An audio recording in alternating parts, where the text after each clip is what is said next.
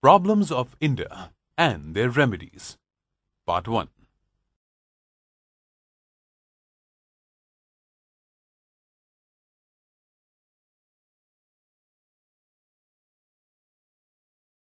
India faces various problems like communalism, regionalism, illiteracy, and corruption. In this module, you will learn about these problems and look at some of the measures that can be taken to curb or alleviate them. Communalism refers to the split in the national community on the basis of religion for political gains.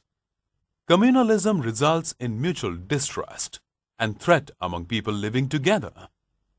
It leads to unrest and even ruins life and public property. Communalism keeps religious groups above national interest, which results in hampering the unity and the strength of the country. Communalism can be curbed by taking some precautionary measures like uniform legal system, equal treatment of all citizens, and practice of secularism. To combat communalism, it is important to inculcate a national feeling. Religious fundamentalism should not be encouraged. Secular education for children will restrain communalism. Healthy media too is necessary for curbing communalism. Regionalism refers to the feeling of people in favor of the local area they live in. Indian states have been organized mainly on the basis of language.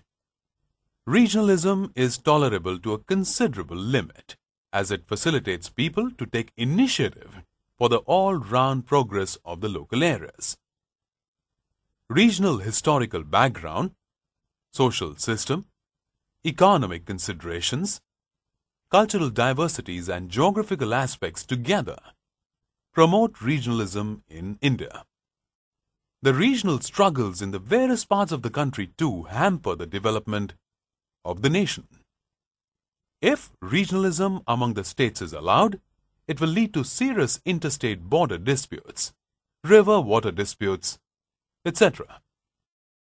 All citizens should consider themselves as Indians, regardless of their language and state identity.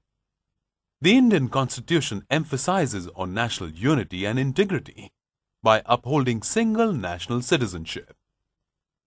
It also provides enough space for regional development within the federal structure.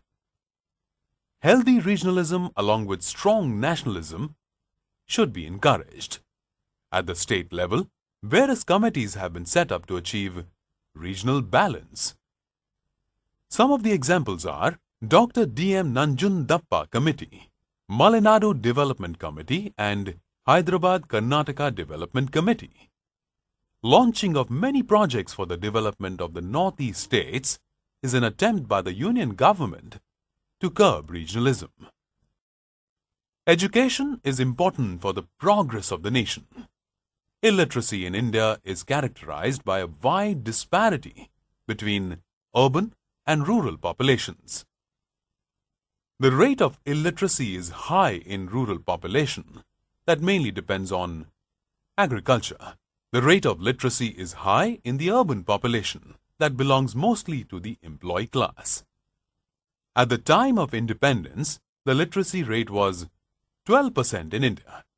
It was enhanced to 66% in 2001 and was increased to 74% by 2011. However, about 26% of the population still belongs to the illiterate class. Some of the reasons for illiteracy are poverty, migration, child labor, child marriage, responsibility of baby care of the younger sibling, lack of interest to give education to children. The government has launched a number of programs to facilitate literacy. In 1988, the National Literacy Mission was established to eradicate illiteracy.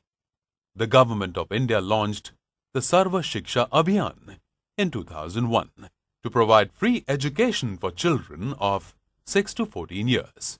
It provides education to girls and physically challenged Sakshar Bharat program was launched in 2009 with an objective of achieving 80% literacy.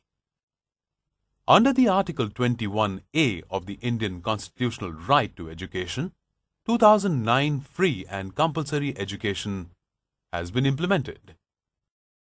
Corruption refers to the inducement to do wrong by bribery or other unlawful means. Corruption is caused due to lack of honesty and selfish exercise of power and influence attached to public life. It adversely affects the social, economic and political system of the country.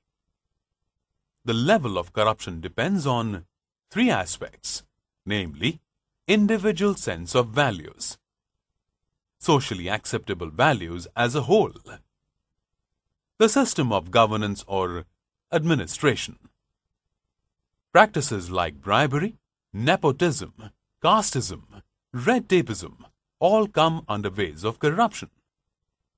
Political corruption leads to organized crimes and is shaped into white-collar crimes or public welfare offences.